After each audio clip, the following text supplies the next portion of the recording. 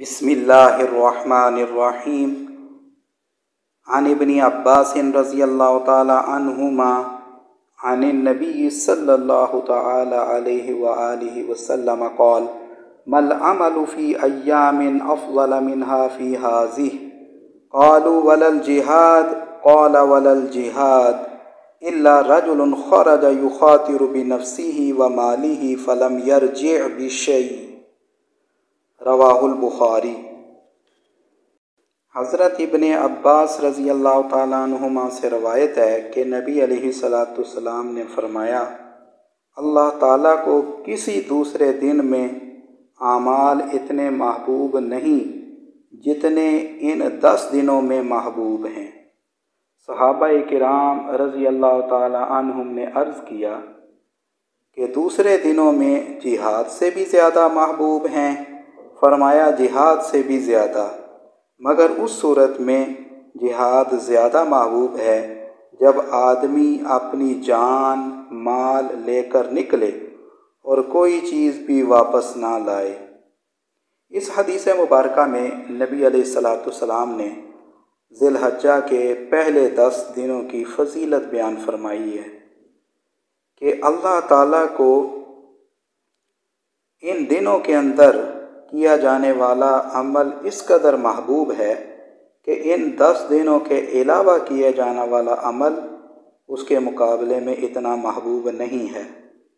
सहाबा कराम रजवान तजमाइन ने अर्ज़ किया कि, हज़रत, क्या दूसरे दिनों में जिहाद से भी ज़्यादा इन दस दिनों के अंदर किया जाने वाला अमल ज़्यादा महबूब है?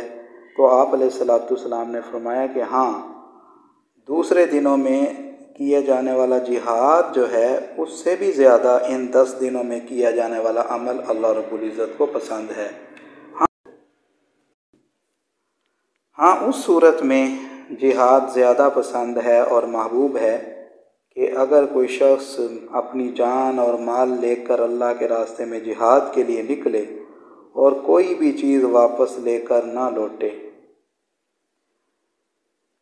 इस हदीस मुबारक में ज़िलहजा के पहले अशरे की बहुत ज़्यादा फजीलत बयान हुई है कि इसके अंदर जो किए जाने वाला अमल है, वो दूसरे दिनों में किए जाने वाले अमल से ज़्यादा महबूब है। इन दस दिनों के अंदर जो अमाल हमें करने चाहिए, उनमें से पहला अमल तो ये है कि अल्लाह रब्बुल इज़्ज़त के ज़िक्र की कसरत की जाए। चुनाचे ला इलाहा इल्लल्लाह, अल्हम्दुलिल्लाह, अल्लाह अकबर सुबहान अल्लाह इसकी कसरत करनी चाहिए।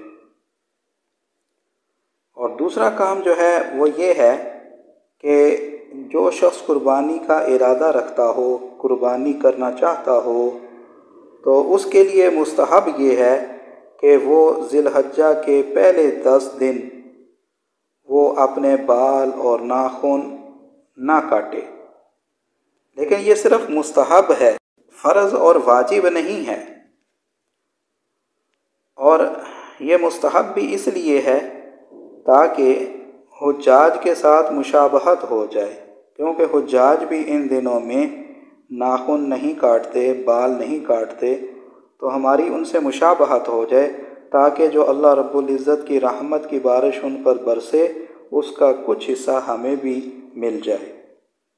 इसके साथ साथ तीसरा काम ये करना है कि इन दिनों में दिन को रोज़ा रखना है और रात को इबादत करनी है।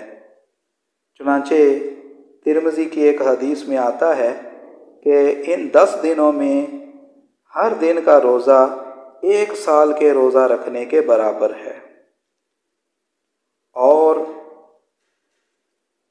दिनों की जो रातें हैं, उसकी जो इबादत है, वो लैलातुल कदर के बराबर है।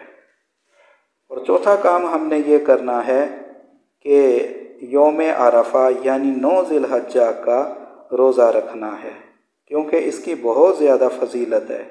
एक हदीस पाक में आता है कि नौ ज़िलहज्जा का रोज़ा एक साल पहले और एक साल बाद के गुनाह उसकी वजह से बख्श दिए जाते हैं।